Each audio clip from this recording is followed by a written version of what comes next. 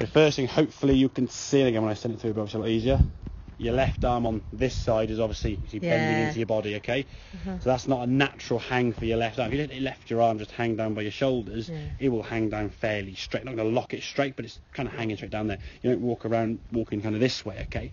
So your left arm in that kind of sort of bending in position here is going to mean when you come back to the golf ball, you have to return back to that bent position. Yeah. Well, where's that going to? How much bend is that going to be?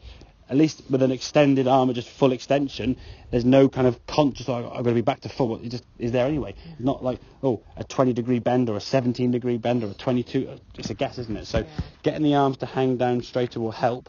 But when you do that, try to make sure when you're setting to the golf ball, even there, your eye line or your eyes itself are kind of looking off to the left there as you or right as we look at you. So you kind of sort of like this.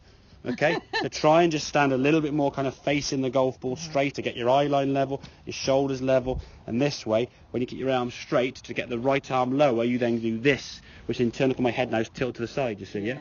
So just getting straight onto the golf ball will help. Always said there, if I put a little circle around your head, see that movement as you go back, Yeah. moving sort of from one side of the car to the other, Mhm. and like the camera anyway, to be fair, so the circle's kind of going with you, but you can see that sort of movement Yeah. there. Okay, so if you move back and away from the golf ball, when you come back to it, your arm kind of bends back to a slightly more Ah, bent yeah. position, and we top it. Okay, if when we come in here now, there's a bit of movement there, even before that club's gone back anywhere, you're swaying off it. Now on occasions you time it well, okay, you come back to the golf ball, lovely strike, we can twist that, that there, I mean look at that. Yeah. That's a full movement up on the shoulders there, straight left side, okay?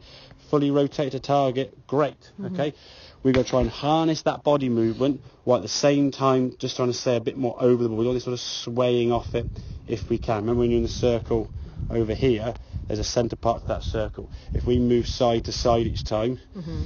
You're just guessing where the way you're going to be. So it's about li- eliminating these variables, okay?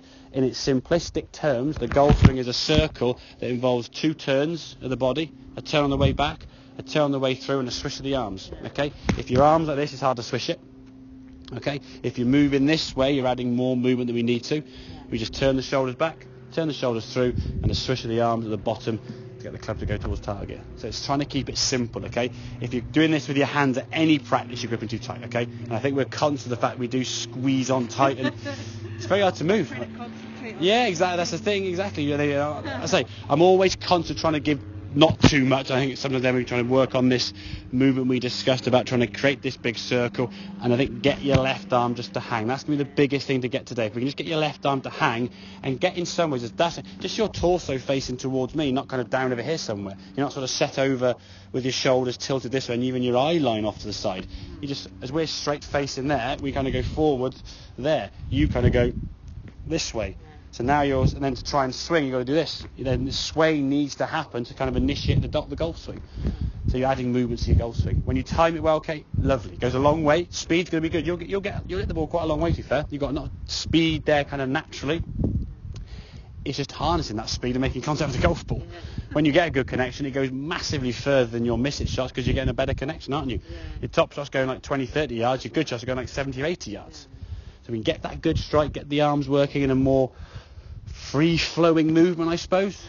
We can get more distance. Okay. Just, I'm thinking practice. Well, yeah, exactly. I would say if you can. Say, oh, I go to the driving range with you, and then I would, yeah. I mean, even if you can't get down the range, I would spend five minutes home in the day. I know it's easy to say, easier said than done when you've got family and stuff and to try and commit to and stuff and jobs and works and stuff to get done and social.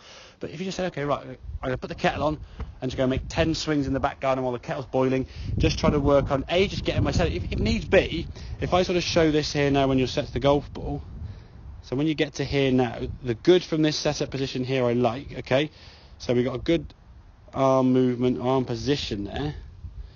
But for me, your head's kind of looking off the side there, okay? So just get yourself in front of a mirror, just face the mirror straight and just lean forward.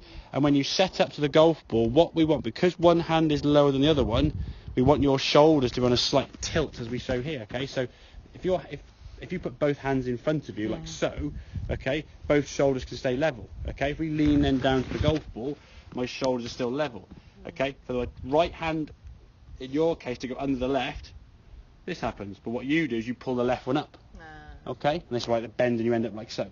So your left arm's going to maintain one length. Your right arm's going to get lower by your right shoulder getting lower, yeah? So you actually stand the ball a bit more straight onto target rather than kind of on a twisted position, yeah. Okay, makes sense? Yeah. Good stuff, right?